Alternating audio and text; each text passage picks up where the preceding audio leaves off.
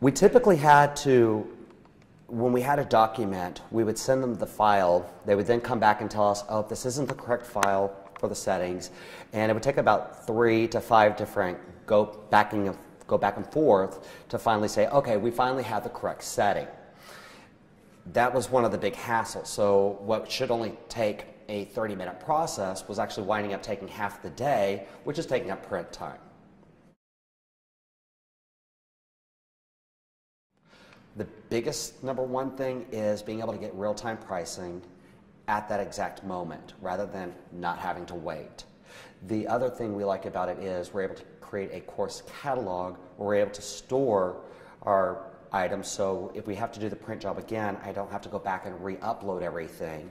And the other thing that I like about it is that because some of the classes that we teach, like sexual harassment in the workplace, the laws change. Rather than having to recreate the entire document, I can just pull out certain pieces and replace that with the current updated laws. So I'm not having to start the process all over again. I only have to just tweak that little item.